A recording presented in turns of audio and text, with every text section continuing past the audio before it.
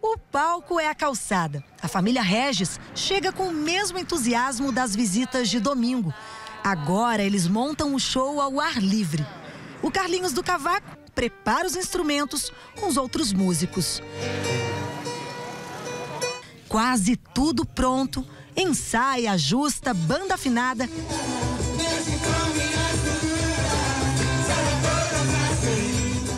Um dos melhores momentos meu quando estou aqui. Tem minha mãe aqui e eu faço alegria também dos idosos, entendeu? É, aguenta coração.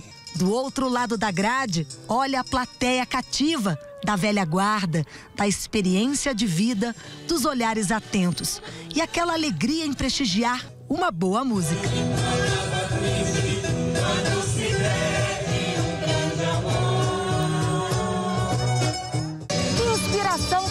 Fazer o bem, doar coisas, mas levar arte, música que desperta sentimento, memória afetiva.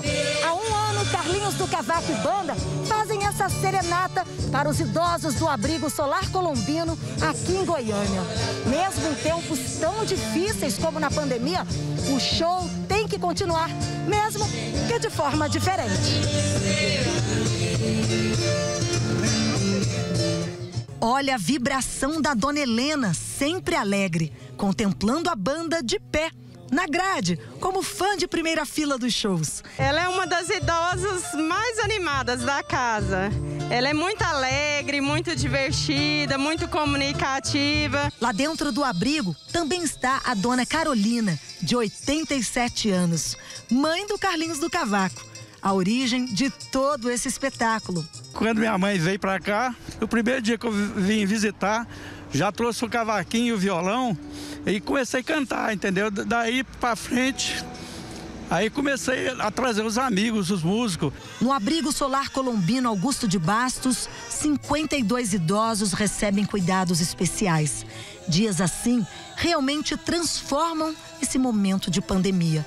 Eles se sentem muito felizes, eles se sentem amados e se sentem que não são esquecidos, né? Isso traz um conforto para eles. Eles dançam, cantam e um sorriso daquele vale muito mais do que mil reais que a gente cobraria num show. Eu tenho